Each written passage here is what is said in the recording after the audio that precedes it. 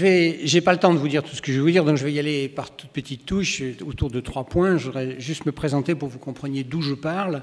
Euh, je vais essayer de formuler la problématique autour de laquelle on est et puis donner quelques traits caractéristiques, à mon avis, de ce vers quoi devrait évoluer le système d'accompagnement des transitions professionnelles.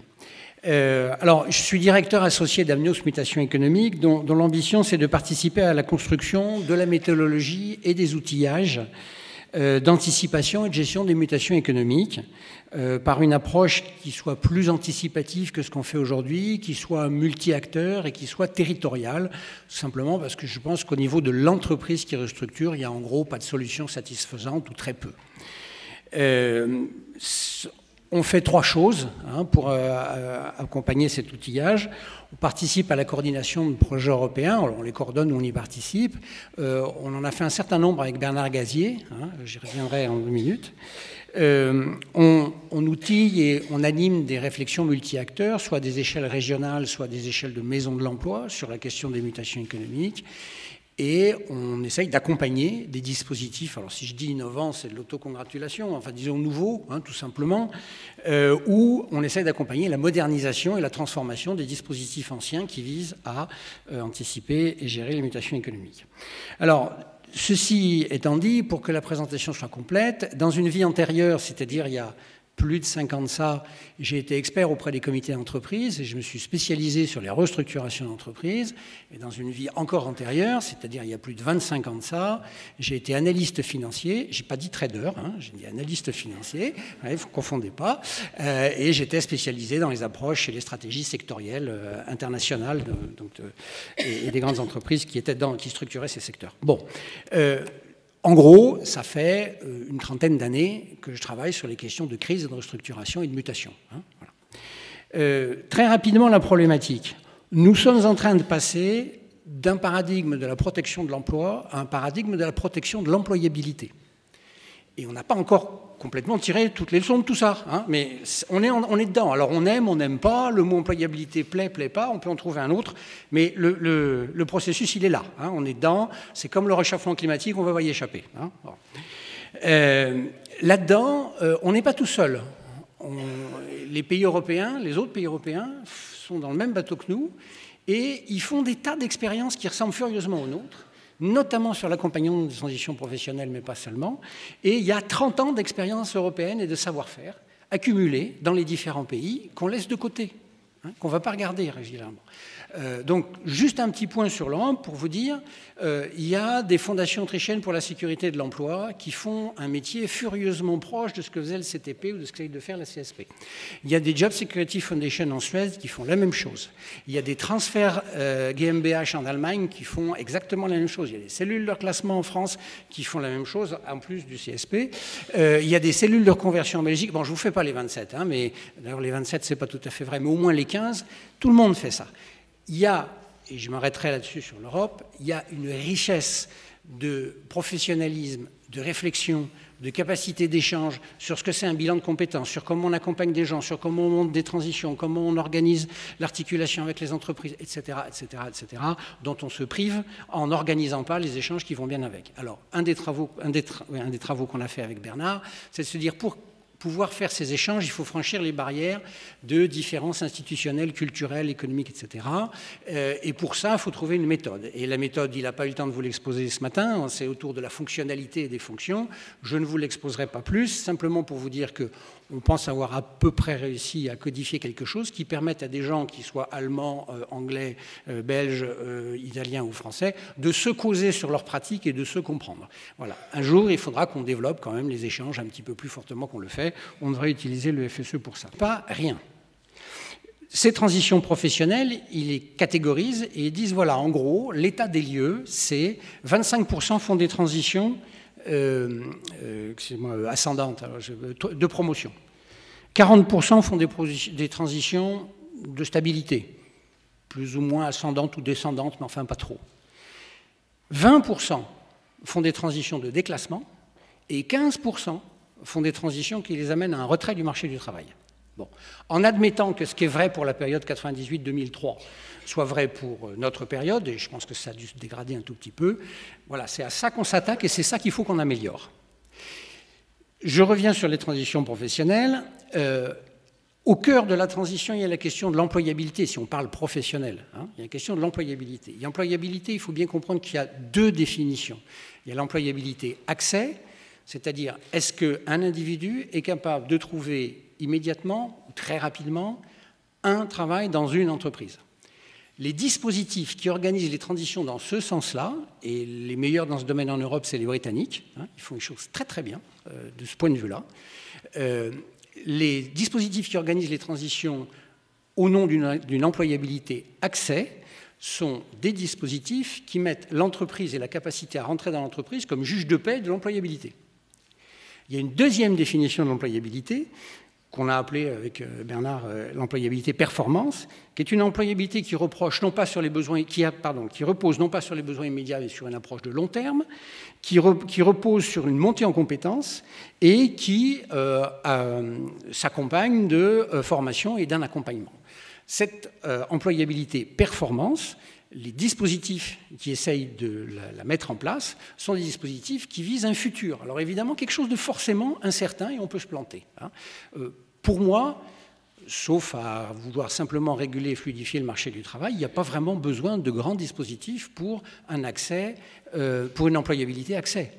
Hein, il faut juste euh, euh, faire en sorte que les choses se passent bien, facilement, mais il n'y a quasiment besoin que d'une grande agence dont la mission, c'est euh, faire, faire revenir au travail le plus vite possible. Si on veut construire l'employabilité de performance, c'est par exemple ce que le CSP fait ou essaye de faire en France, ce qu'a essayé de faire le CTP avant, enfin tout ça, ma voisine en a parlé.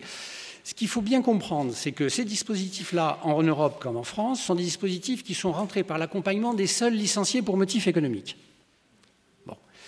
Le premier enjeu de ces dispositifs, c'est de s'élargir à ceux qui font des transitions professionnelles, licenciés ou pas. Alors je me suis dit en venant ici, jusqu'à il y a deux jours, je vais être un peu seul sur ce coup-là, et puis j'ai lu euh, le rapport de la Cour des comptes. Je me suis dit, super, super, finalement, euh, il y a quelque chose qui marche. L'enjeu, c'est de soumettre l'accès au contrat de sécurisation professionnelle non à un critère lié à la situation juridique du bénéficiaire, mais à l'appréciation de la distance à l'emploi. Alors je laisse le côté la distance à l'emploi qui est un machin quand même un peu bureaucratique, mais euh, oui, voilà, c'est pas parce qu'on est licencié économique qu'il faut avoir accès au CSP, c'est parce qu'on a besoin d'avoir un accompagnement dans sa transition professionnelle et c'est ça qu'il faut faire. On va passer de 30 000 ou un petit peu plus, 100 000 bénéficiaires potentiels à un million et demi. Hein. Mais c'est ça qu'il faut faire, c'est le premier enjeu. Deuxième enjeu, euh, il faut inscrire les dispositifs d'accompagnement des transition professionnelle dans de l'accompagnement des trajectoires professionnelles. Ça a été abondamment dit, mais ça veut dire qu'il faut décliner les dispositifs qui vont, euh, euh, avec. Et là, je vais euh, retomber sur la table ronde d'avant. Pourquoi est-ce que les entreprises ne parlent pas de transition professionnelle? Parce que ça ne les intéresse pas, sauf depuis très très peu de temps. La transition professionnelle pour une entreprise, ce n'est pas une affaire, c'est l'affaire du salarié. Daniel Kaiser-Bruber l'a évoqué tout à l'heure. Les entreprises, quand on leur a dit qu'il faut accompagner les transitions professionnelles dans les plans de sauvegarde de l'emploi en mettant en place des cellules de reclassement, elles ont sous-traité. Pas toutes, pas toutes. Hein. il y a toujours des vertueux, etc. Mais enfin, majoritairement, écrasantes, elles ont sous-traité. Ce n'est pas un sujet pour elles. Il faudrait que ce soit un sujet pour elles. Parce que des entreprises qui, pendant 20 ans, laissent une personne, ou même simplement 10 ans, laissent une personne à un poste, la forment pas, la changent pas de poste, elles détruisent l'employabilité de ces personnes. Tout simplement. Or, on a besoin d'un marché du travail, justement, on vient de le dire, où l'employabilité est maintenue. Donc, il faut qu'on demande d'une façon ou d'une autre un effort à toutes les entreprises pour le bien de tous sur les questions d'employabilité. À mon avis, puis je ne développerai pas là-dessus parce que je n'ai pas le temps, il y a une façon de faire ça, c'est de raccrocher à la GPEC. La GPEC, c'est une machine à dire, il y a des emplois critiques, il y a des emplois, bon, ça va bien, et puis il y a des emplois, euh, des critiques, c'est on ne veut pas les voir partir, il y a des emplois, ça va bien, et puis euh, il y a des emplois euh, sensibles. Eh bien, les emplois sensibles, il faut les coupler à un dispositif qui prépare à une prise en main qui, fait un effort plus particulier sur la réflexion sur le parcours professionnel. Et ce qui va déclencher la réflexion sur le parcours professionnel, et là ça devient extrêmement difficile pour les entreprises, mais certaines arrivent à le faire, c'est de dire, voilà, vous êtes, vous, dans un emploi critique, dans un emploi sensible.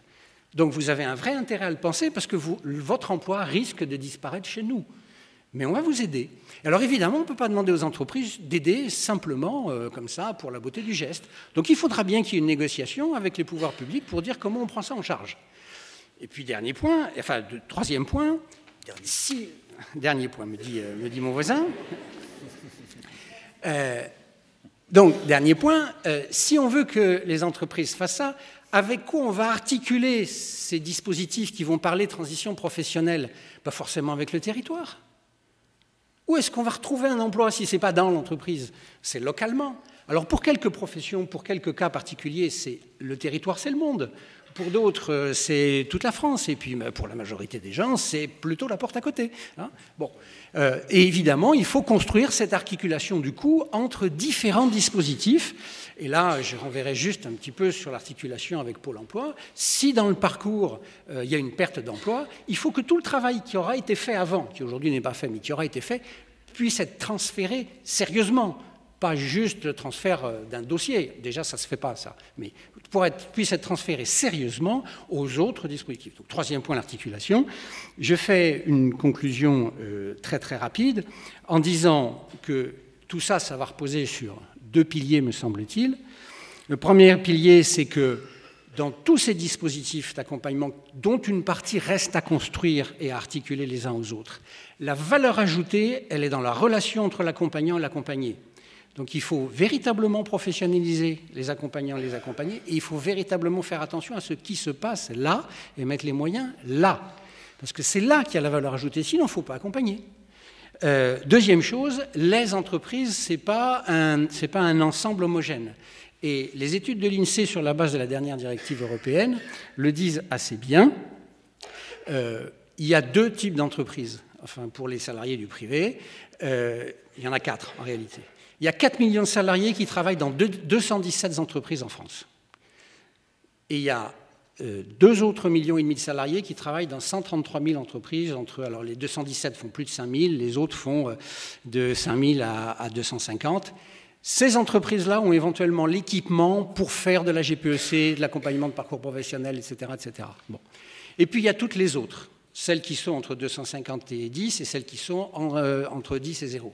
Et celles-là, il faut les aider à avoir une conception d'une gestion prévisionnelle de leurs ressources humaines, pour utiliser ce, terme-là, et il faut du coup que ce soit les territoires qui les accompagnent, et qui accompagnent les entreprises et les salariés qui sont dedans. Je n'ai pas le temps de développer, je conclus là-dessus, avec juste un dernier petit point. On a une faiblesse immense, et elle est européenne, nous ne savons pas évaluer ces dispositifs.